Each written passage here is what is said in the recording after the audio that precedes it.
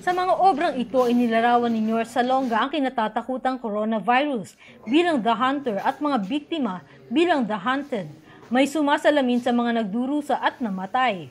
Ang isa namang obra, parang hinigop sa kawalan. Ang imahe ni John Lennon na palagi niyang pinapakinggan panlaban sa matinding pagkabagot na naramdaman. Ang unang painting exhibition na ito ay sumasalamin sa saloobin ng mahigit 25 artists sa panahon ng lockdown. Hindi ka masyado makakilos, parang ang sikip-sikip ng space mo, kasi ang liit ng mundo mo. So, parang crisis, crisis of space, crisis of everything. So, yun ang gusto nilang uh, ipalabas sa, sa team na to. Kahit daw maraming nakansilang projects, namulat rin siya sa maraming bagay sa mahigit dalawang buwan ng lockdown. Na-realize natin na we don't need much.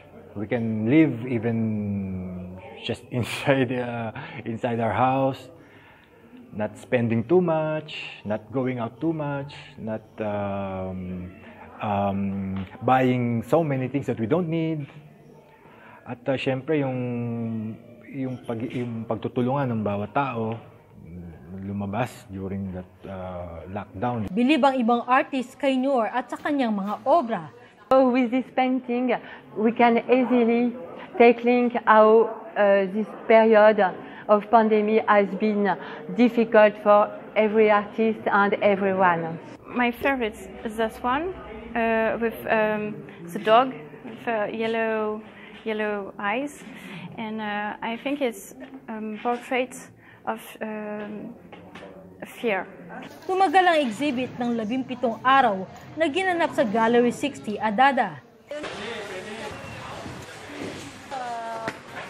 Pinayagan na rin magbukas ang ilang restaurant, malls, sports facilities sa France. Isa na rito ang tambayan ng mga Pilipino, ang Bowling for Beauvoir. Nag-comply kami kung ano yung dapat na ikabit at ilagay sa sa sa bowling. Uh, Unang-una, dinesinfect namin lahat ng bowling, even yung mga ball. Para sa dalawang professional Pinoy bowlers na pambato ng France, ramdam nila ang epekto ng lockdown sa kanilang laro. Na-feel ko na nawalan na rin ako ng gana ng maglaro dahil nga na-boring, nawala ng trabaho. Kaya yung, uh, ano ba to, yung, yung sa isip mo, wala, uh, wala nang, wala nang gagawin na, na nahihirapan na akong to back to play uh, bowling. Na-confine kami na uh, two months.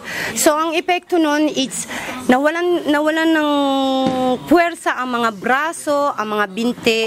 And then ang unang bato namin nung, nung na pwede na kaming maglaro.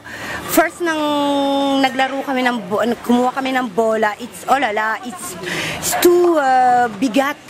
Ang bigat masyado at talagang parang hindi na kami marunong maglaro. Masaya ang OFWs dito sa Paris dahil nakapaglalaro na sila tuwing weekend. Sa pagbubukas ng Courbevoie Bowling sa Paris, France, nag-champion sina Bernie at Angie sa men's and women's division individual. Kasama si Bong Agustines, Corey De Jesus, TFC News, Paris, France.